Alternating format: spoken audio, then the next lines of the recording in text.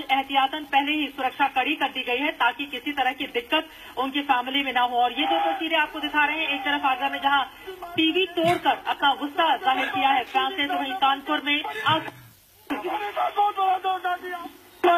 औरतों ने खाना छोड़ के सबका मैं टीवी सामने बैठ इन्होंने हमारे साथ बहुत बड़ा धोखा दिया हमारी भावनाओं के साथ खेला अरे हम तो कहीं के नहीं रहे अरे हम तो डिस्टर्ब हो गए अरे हमारे बाबा विराट कोहली आया! विराट कोहली आया! विराट कोहली! बात देखेंगे औरतों ने खाना छोड़ के टीवी के सामने बैठ हमारी कुछ फैंस ऐसे होते हैं जो भावनाओं में